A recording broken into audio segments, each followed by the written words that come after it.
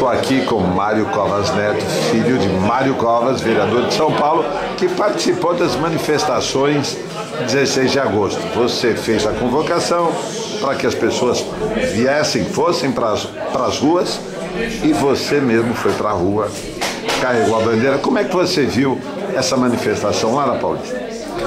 Olha, eu vi de duas formas. A primeira, que com muito entusiasmo, é, um, é um momento cívico importante de, de, manifestação, de afirmação do que, que a gente quer, o que a gente quer para o país, o que a gente quer para a nossa vida. É um ato cívico importante, muito importante. A segunda é de, um, de uma certa de um certo receio. Esse foi o terceiro ato grande, de grande movimentação que nós tivemos esse ano aqui em São Paulo. E eu achei que esse terceiro ato, depois não se, conformou, não se confirmou nas notícias do dia seguinte. Mas a minha impressão quando eu estava lá era que um ato menor do que os anteriores. Por outro dia não, talvez o horário que eu tenha é, participado tivesse um pouco mais vazio, mas eu fiquei tentando refletir o, o que, que acontece. Olha, se você tem uma presidente com um nível de desaprovação tão grande, uma, uma revolta das pessoas todas com a classe política de modo geral, um, uma situação econômica muito ruim, com desemprego, com inflação, o que faria as pessoas não estarem, não estarem tão mobilizadas assim para protestar? E eu acho que as manifestações, elas, o seu grupo organizador, ele erra em não chamar os partidos para participarem. Primeiro, nós vivemos um problema político sério, uma grave crise política, e você alijar os partidos políticos desse processo me parece equivocado. Mas não é esse o principal motivo, eu acho principal motivo é que as pessoas vão à rua, às ruas, protestar determinadas coisas, seja corrupção, eh, seja eh, algum, algum algo pontual. Quando você tem algo pontual para reivindicar, é, é, é, mais fácil de você ter uma luta com prazo determinado. Ora, aquele algo pontual, atendido ou não atendido, você, enfim, a tua luta termina ali. Quando você tem questões que são mais teóricas, como combate à corrupção, é uma coisa tão, tão teórica que a impressão que as pessoas fazem, têm é, depois de um processo, protesto como esse, é de que, bom, agora vai acabar. E aí percebe-se que não acaba, porque isso não é um. Não, não, não se trata de você, algo que vem acontecendo, você estancar. As coisas não são assim, infelizmente não são. Até preferia que fosse. E eu acho que isso gera uma certa frustração nas pessoas que saem à rua para manifestar, combater, e quando vê no dia seguinte que é, algumas práticas continuam acontecendo. Ou seja, para ser mais explícito, você, na hora que descobre que o Zé Dirceu, quando estava preso pelo mensalão, ele continuava levando dinheiro, agora comprovado pelo Lava Jato. Ou seja, até que ponto vale a pena você ir para a rua protestar quando as coisas continuam acontecendo? Talvez isso seja a frustração que leva alguns a dar um primeiro momento na rua e num segundo momento desiludido com as coisas. Por isso que eu acho que esse é o desafio nosso, da classe política como um todo. Mostrar que não, a luta tem que ter uma razão de acontecer, ela tem que ter um prosseguimento, ela tem que ter uma lógica. E a, a desistência só favorece quem vem praticando as coisas erradas. Essa, essa manifestação, eu estive lá presente também, subi em um dos caminhões do movimento, vem para a rua, eu participei das três, eu não achei que fosse menor do que as anteriores, pelo menos menor do que a primeira. A segunda eu achei que é, foi menor, mas essa, na minha opinião, se equiparava à primeira, que foi uma manifestação grande. Só que das outras manifestações, os próprios oradores, quem animava dentro dos caminhões, falavam muito contra os políticos de uma forma geral.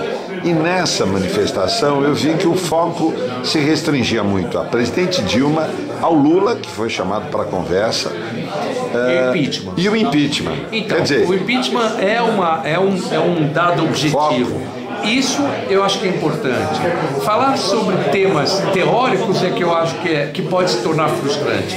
Impeachment é, como é a PEC não sei das quantas, como qualquer coisa concreta que você pode, é, é, é, você pode ultrapassar ou não ultrapassar, caso seja derrotado, mas é uma luta que você tem data para acontecer. As, as lutas teóricas, elas são, elas são muito importantes porque elas são conceituais, mas elas podem gerar esse tipo de frustração. É, talvez, como eu disse, no horário que eu estive, eu estive carregando a bandeira pela Sim. Paulista, fui e voltei duas vezes. Eu acho que eu estava no horário certo, mas como eu estava carregando a bandeira, talvez as pessoas fossem abrindo na hora que a gente estava passando, e eu achei muito fácil de passar. E da outra vez, quando eu não estava com a bandeira, eu tive muita dificuldade para andar pela Paulista, né? É, então eu fiquei talvez com uma impressão errada. É. é, a, a, verdade é que no dia seguinte até me surpreendi quando vi no jornal uma quantidade de pessoas, é, de pessoas ainda maior do que a anterior. Mas enfim. Eu vim importa. de graça, falavam, eu vim de graça. É, né? exatamente. exatamente. Mas o que é mais legal é que as pessoas que estão lá, elas estão imbuídas de um, de um sentimento tão importante de cidadania, tão forte, que isso não tem preço. Não tem preço. E eu acredito que na terceira manifestação, quando a gente fala impeachment, alguns perguntam para mim, falam para mim, ah, mas eu não vou porque é para tirar a presidente, ela não sai, não sai no primeiro, não sai no segundo. Eu costumo dizer que a cada ato, a cada manifestação, me parece que a presidente está mais próxima do impedimento. Né? Não sei se essa sensação. É, não é só pelo ato. O ato, sem dúvida nenhuma. Eu acho que o ato serve para muitos dos personagens, não a presidente, ela também, mas todos os personagens que fazem parte desse discurso desde juiz, desde, os, é, desde policiais, desde os parlamentares, enfim, todo, todos os personagens desse troço olhar e dizer o seguinte, olha, a população está atenta. Se vier com essa coisa de, não, vamos é, por panos quentes, vamos acomodar aqui ou ali, é, não, tem um contingente muito grande de pessoas que, tão, que não vão permitir isso. Eu acho que é esse o foco, é esse o entendimento e é isso que, que certamente vai acontecer. E havia um cartaz lá no meio que dizia assim, 90, 95% já não é mais rejeição, é ódio. Você acha que é isso mesmo? O pessoal está com ódio do PT? Olha, eu tenho visto algumas manifestações. É, é um ódio, um ódio muito intenso ao PT, mas é um, é um discreto da classe política como um todo. Há uma reclamação grande, como se o PSDB não conseguisse fazer oposição ou não fizesse oposição. Há uma reclamação que vocês não sabem fazer oposição, uma acusação para a gente. Quando, na verdade, a gente tem procurado fazer aquilo que está no nosso alcance. A gente denuncia, faz discursos, faz artigos, fala, que é o que, é o que a gente pode fazer, né? Até toma algumas iniciativas contrárias, mas não isso não para esse para esse grau de insatisfação que está, isso já não é o suficiente. As pessoas querem mais do que isso. Elas não aguentam a situação do jeito que está e vêm cobrando firmemente. É, o negócio do impeachment é bem isso, quer dizer, mesmo Quer dizer, a, a, presunção de culpa dela eh, se inverteu, né? Não tem a presunção de inocência até que se prove o contrário, não. Agora é a presunção de culpa dela e acho até que tem hoje razões para as pessoas acharem isso, porque afinal de contas ela foi presidente do conselho de uma, de uma empresa que é, durante o período que ela teve lá, comprou a, a Passadena lá, enfim, tem, tem uma série de escândalos que aconteceram durante esse período. Então é pouco provável que ela não saiba. A história de que não estou sabendo, é, tá que o Lula usou muito, com ela as pessoas já não estão acreditando mais, né? E o Marco Antônio Vila, um historiador, estava em cima do caminhão do Vem Pra Rua e lá eh, comentava e deixava bem claro que é um projeto criminoso de poder do PT. Ou nós acabamos com esse projeto criminoso do PT, ou o PT acaba com o Brasil. É um é, pouco é, disso. É. Tanto que você vê, e eu acho que não é só do PT e não é só no Brasil. Você, eu, eu recebi esses dias uma, um pronunciamento do Evo Morales, se colocando muito contra o golpe que querem promover contra a, companheira Dilma. seja, você tem um projeto de poder que extrapola os limites do país. É um projeto de América Latina. Claramente com Bolívia, com, com, Venezuela. com Venezuela, com Brasil, meio que alinhados. Né? Um não tem tanto proteger o outro. É um projeto de poder? É, sem dúvida nenhuma. Todo esse dinheiro arrecadado se percebe que parte deles ia para o partido. Ou seja, era para financiar a permanência do partido no poder. Isso leva a gente até algumas avaliações do tipo até quanto, até quanto as eleições, as últimas eleições foram de, de fato limpas. Eu não sei dizer. Eu não tenho essa resposta. Mas você começa Mas essa a dúvida existe. Você começa a ter mais dúvida agora. Porque... E muitos vão enfrentar agora uma eleição 2016 para prefeito com essa dúvida. Sem dúvida. Eu vou para a urna, mas será que essa urna representa realmente a realidade do meu voto? Quer dizer, é, é uma questão que tem que ser resolvida antes das eleições da prefeitura. Não, essas são regras que você tem que mudar para efeito de, de eleição. Não é possível que os partidos não fiquem fiscalizando isso, eles têm que fiscalizar mesmo. qualquer computador, hoje até celular, as pessoas são, são, são capazes de receber um vírus, etc., que modifica, que causa algum problema. As urnas não tem nada disso.